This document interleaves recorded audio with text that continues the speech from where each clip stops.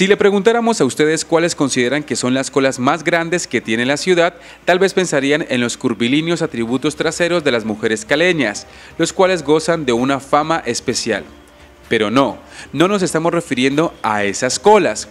Hablamos de las que tenemos que hacer todos los días, bien sea para acceder al sistema de transporte, para pagar los servicios públicos, para realizar una queja o reclamo ante una entidad o la que es peor, para poder que nos atienda el médico.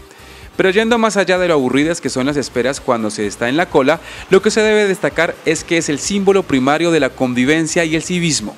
Respetar la fila, dar prioridad a las personas en situación especial y ser pacientes es algo que es imperativo a la hora de estar en sociedad. El civismo, que tanto caracterizó a Cali durante un tiempo, al parecer se ha disuelto y queda en el aire la cultura del más malo, donde el aprovechado, el avivato o la llamada abeja, figuras escudadas en el terrible apelativo de malicia indígena, nos han convertido en una población intolerante y afanada.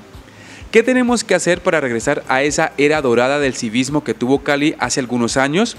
¿Cómo le hacemos entender a nuestros hijos que ser inteligente no significa pasar por encima de los demás, sino vivir en paz? En este capítulo del Clavo TV hablaremos del civismo por una mejor ciudad.